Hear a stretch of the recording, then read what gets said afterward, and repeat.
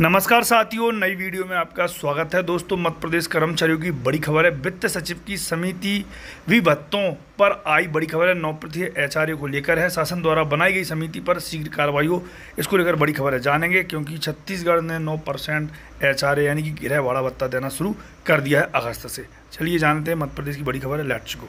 तृतीय वर्ग कर्मचारी संघ के प्रदेश सचिव उमाशंकर तिवारी ने प्रदेश के साढ़े सात लाख कर्मचारियों को गृह भाड़ा एवं अन्य भत्तों को लेकर 25 जनवरी 2023 को शासन द्वारा बनाई गई समिति द्वारा अभी तक कोई निर्णय न लेने पर नाराज़गी व्यक्त की है। जबकि आदेश अनुसार दो महीने के अंदर समिति को अपनी रिपोर्ट अपर मुख्य सचिव वित्त को देना था।